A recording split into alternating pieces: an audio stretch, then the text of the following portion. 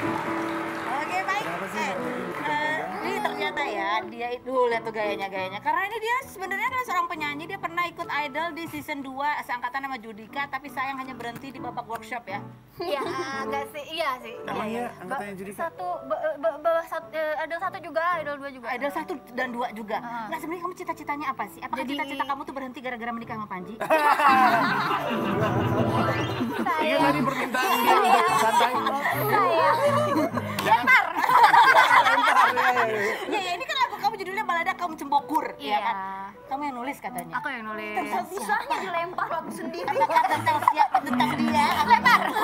tentang dia atau tentang siapa di Sendiri cembokur? dilempar. Ya, jadi itu eh, sebenarnya nostalgia aja. Karena Oh. emang lagunya juga emang mau ambil eh, biar gimmicknya teh nostalgia aja Oh, gitu, gitu. teteh-teh pengennya Enggak, biar lucu aja. pertanyaannya bukan itu siapa ini kaum cembokur. Enggak, cembokur tuh zaman dulu. Jadi aku kan orangnya posesif sebenarnya kalau ditanyakan sebenarnya emang lebih posesif. Jadi seneng sama hal-hal yang waktu belum jadian juga udah kepengenannya eh, udah merasa milik padahal belum. Oh, Coba kita. Kita, kita